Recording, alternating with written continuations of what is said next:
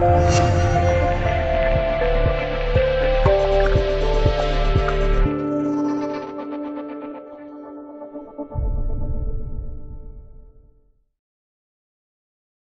郎官，恭喜你啊，娶了个这么能干又漂亮的新娘子，将来的日子肯定和和美美，越来越好，祝夫妻恩爱，早生贵子哦。被称为新郎官的林桂华和新娘美令站在酒店门前，乐呵呵的迎接前来喝喜酒的新妻朋友，脸上挂满了幸福的笑容。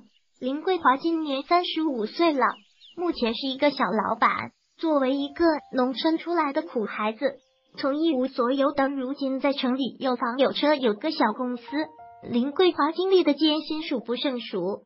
所幸天道酬勤，终于让他在历经千辛万苦后尝到了胜利的果实。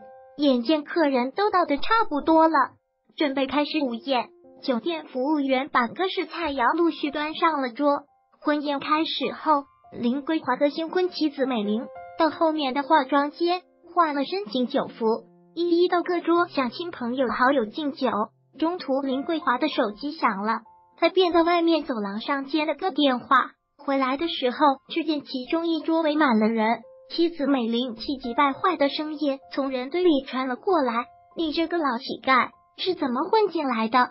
我们家里根本没有你这样的亲戚，而我丈夫那边，我们谈恋爱谈了三年。”家里人我都见过，他不可能有你这样的亲人。我看你是习惯混进婚宴里面来白吃白喝的吧。